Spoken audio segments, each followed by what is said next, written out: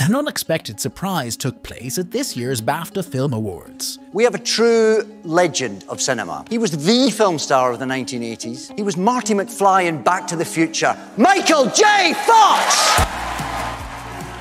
Known for his roles in Back to the Future. Are you telling me that you built a time machine out of a DeLorean? And Family Ties.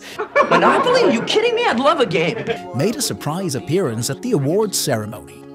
There's a reason why they say movies are magic, because movie movie can change your day. It can change your outlook. It can sometimes even change your life. Michael J. Fox was diagnosed with Parkinson's disease in the late 90s. He became a beacon of inspiration by establishing the Michael J. Fox Foundation, a driving force for Parkinson's research, raising awareness and fostering hope for countless individuals affected by the disease. The surprise appearance added a touch of nostalgia and excitement to the evening.